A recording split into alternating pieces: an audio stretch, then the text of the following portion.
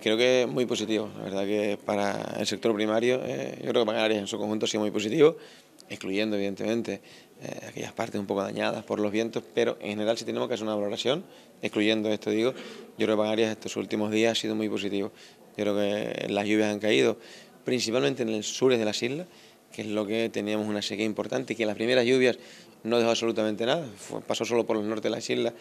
y desgraciadamente el sur, que es la zona que más necesitaba agua, pues quedó excluida de esta borrasca. Yo creo que estas lluvias de estos últimos días han sido muy positivas porque bueno, garantizamos los recursos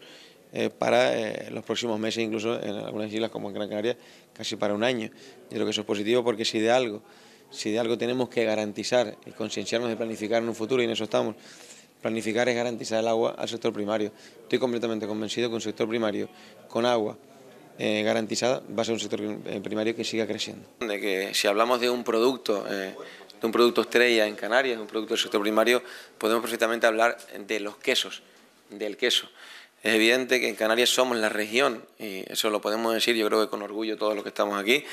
somos la región europea, primero, que más quesos produce como región, y segundo, que más premios a nivel nacional e internacional tenemos en nuestros quesos. Solo decir que 36 premiados eh, de nuestros quesos canarios en la última World Cheese Award del mundo significa que somos la región del mundo que más premios tenemos en queso.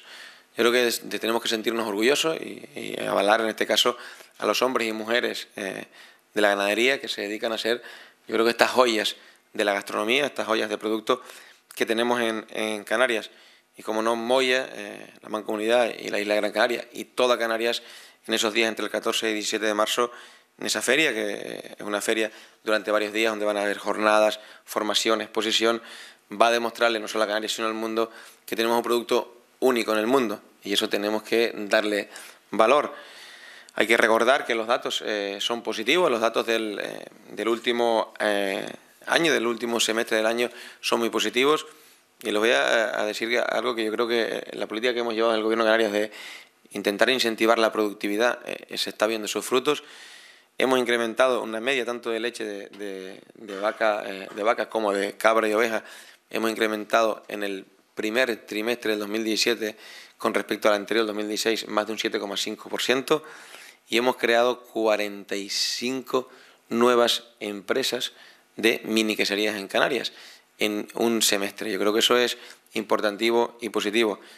Los litros de leche también eh, han aumentado en los dos. Yo creo que esto es muy positivo para Canarias. Tenemos un producto de excelencia, como es el queso. Eh, esta feria que se va a celebrar en Gran Canaria,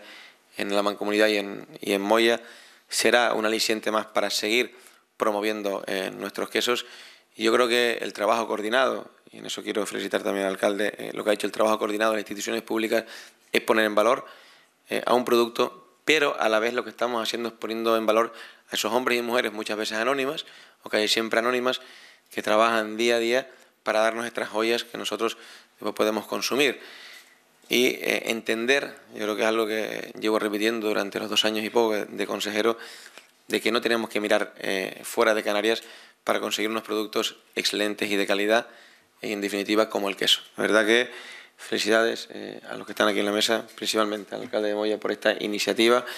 Y como nos seguro que nos vamos a ver todos entre el 14 y el 17 de marzo en lo que será una feria eh, única en Canarias y una feria que pondremos en valor, yo creo que eh, una de nuestras joyas gastronómicas, que es el queso,